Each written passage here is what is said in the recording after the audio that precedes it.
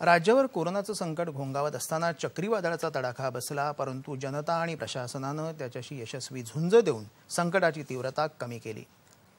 या वादळाचा सामना करण्यासाठी कार्यरत असलेले महापालिका जिल्हा प्रशासन आपत्कालीन व्यवस्थापन वैद्यकीय पथकं या सर्वांचं कौतुक आहे असं मुख्यमंत्री उद्धव ठाकरे यांनी म्हटलं आहे. कोकणात तसंच इतरत्र नुकसान झालं तसं दुर्दैवानं दोन जण अपघातात मृत्युमुखी पडले. या नुकसानीच्या पंचनाम्याचे आदेश दिले आहे असंही मुख्यमंत्र्यांनी म्हटलं आहे. आपली एकजूट राज्याला सर्व संकटातून बाहेर काढेल असा विश्वासही मुख्यमंत्र्यांनी आपल्या निवेदनात व्यक्त केला आहे.